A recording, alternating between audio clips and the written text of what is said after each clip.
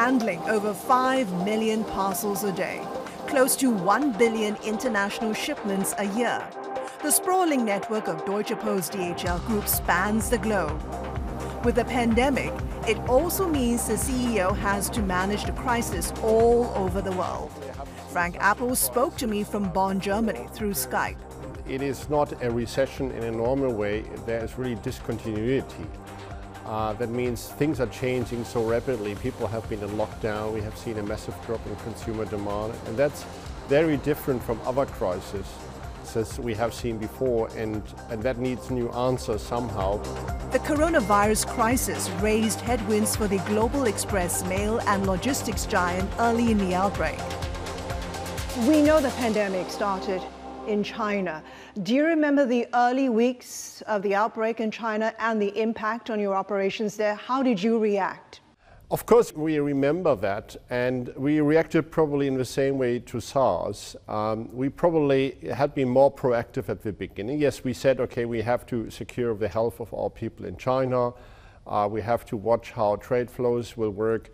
But you know, if I'm honest, we probably have not anticipated that it will spread so rapidly. We felt probably more it's like SARS, it can be contained in the region and the rest will go on. And if you reflect on what, what happened to the capital market, it was the same. You know, the, the stock market was still booming. What we actually did is we started to introduce for our IT service centers, which one is in Malaysia, uh, um, you know, an A-B split or red and blues team a split straight from the beginning because we said the IT service centers are very important, the data centers are very important, and therefore we have to protect it.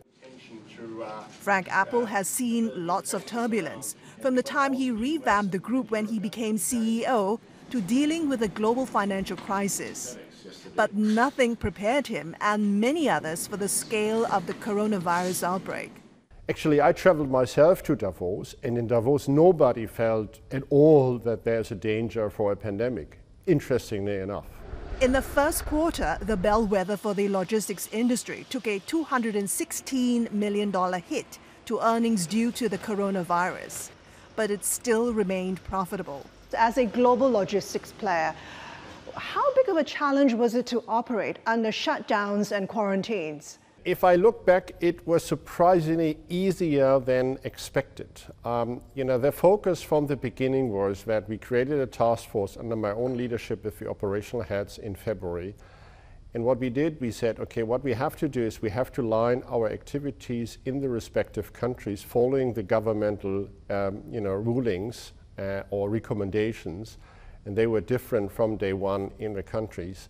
And then we adapted our measures. Um, we have gone through that amazingly well, I have to say.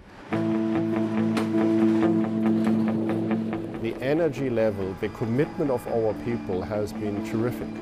They felt from the beginning, and this is what we hear from our colleagues, that we put health and safety first, then second are the service quality, and never in the other way around. And, and that has engaged them.